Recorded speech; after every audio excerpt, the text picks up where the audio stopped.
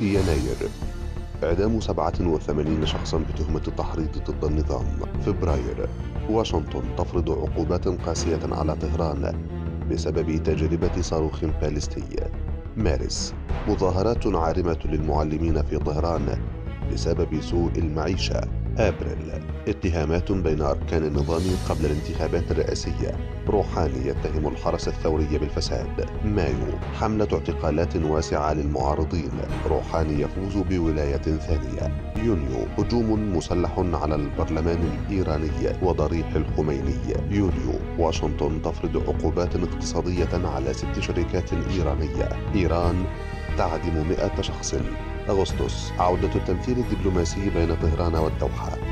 إيران ترفض طلبا أمريكيا بتفتيش مواقعها العسكرية. سبتمبر إيران تجري تجربة ناجحة لصاروخ مداه 2000 كيلومتر.